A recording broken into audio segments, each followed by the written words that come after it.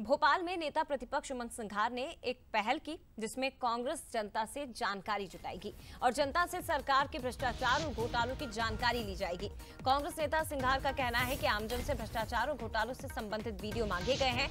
आमजन के बताए घोटालों को सत्र में उठाया जाएगा। बंसल न्यूज़ से संवाददाता सूरज शर्मा से खास बातचीत की। कांग्रेस नेता ने क्या कुछ कहा, सुनिए।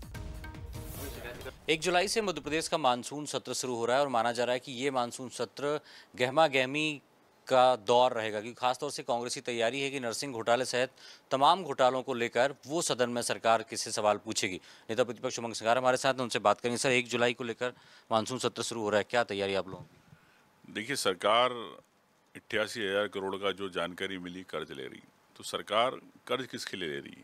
आम जनता के विकास के लिए ले रही कि उन योजनाओं के नाम पर, उन अधिकारियों और उन ठेकेदारों के की जेबें भरे, उसके लिए कर्ज ले रही है। मुझे नहीं लगता है कि जिस प्रकार से प्रदेश के अंदर घोटाले हो रहे हैं, चाहे नर्सिंग का घोटाला हो, चाहे जल जीवन मिशन का घोटाला हो, ऐसी कई योजनाएँ क्या सरकार उस पर अपनी जवाबदारी तय करेगी? किसी मंत्री, चाहे विश्वास सारंग अगर उसमें लिप्त है तो उस पर क्या कार्रवाई करेगी?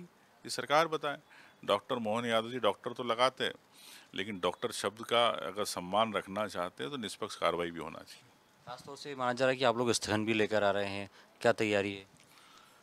मैं आपसे ये कह रहा हूँ कि कोई भी मुद्दा हो उस पर सरकार से बिल्कुल हम पूरी मजबूती के साथ विधानसभा से लेकर ज़मीन तक चाहे पीसीसी हो एनएसआई हो चाहे यूथ कांग्रेस हो मजबूती के साथ आपको इस बार दिखेगी।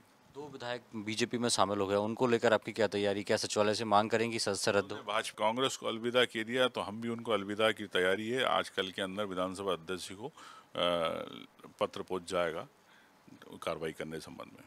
विधायक दल की बैठक भी होना है माना जा रहा है कि कई विधायकों को बोला भी गया है कि नरसिंह घोटाले से जुड़े साक्ष्य हैं उनको लेकर सवाल में भी पूछें विधानसभा में और जो साक्ष्य हैं वो भी इकट्ठे करें। स्वाभाविक है मैं एक टोल फ्री नंबर के माध्यम से मैंने चाहे मिस कॉल नंबर के माध्यम से कई जानकारी आई है और मैंने उसको जारी किया था। तो प्रदेश में कई घोटाले हो रहे हैं। तो निश्चित तौर से उस पूरी जानकारी एकत्रित करके प्रमाण के साथ सरकार के सामने विधानसभा पटल पर रखी जाएगी। मानसून सत्र को लेकर कांग्रेस की जमकर तैयारी है। नरसिंह घोटाले सहित अन्य घोटालों को लेकर भी सरकार से सवाल पूछा जाएगा। तो वहीं दो विधायक रामनिवास रावत और निर्मला सप्रे, जो बीजेपी का दामन थाम चुके हैं, उनको लेकर भी सदन में आर पार की लड़ाई, कांग्रेस लड़ेगी। अश्विनी सिंह के साथ सूरज शर्मा, बंसल न्यूज़, भोपाल।